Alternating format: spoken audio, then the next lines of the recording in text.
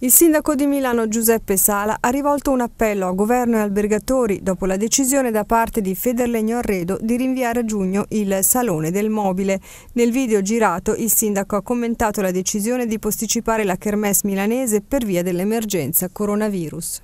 È importante che, come sempre mi piace dire, ognuno faccia la sua parte, quindi chiedo al governo di intervenire e di dare una mano per un settore fondamentale per la nostra economia. Faccio un appello particolare agli albergatori. Ecco, quest'anno dobbiamo avere molta attenzione nel determinare i prezzi delle camere perché sarà un anno straordinario. Il salone lo si sarebbe dovuto aprire il 21 aprile, abbiamo deciso di rinviarlo di un paio di mesi, quindi c'è una data di nuova apertura, è il 16 di giugno.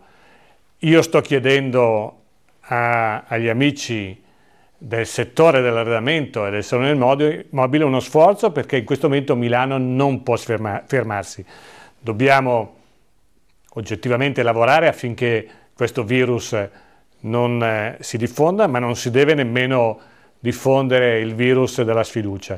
Milano deve andare avanti. Quindi io li ringrazio per questa prova di fiducia perché non è facile oggi avere la volontà di chiamare da tutto il mondo visitatori, da, di convincere gli operatori, ma credo che questa sia la decisione giusta.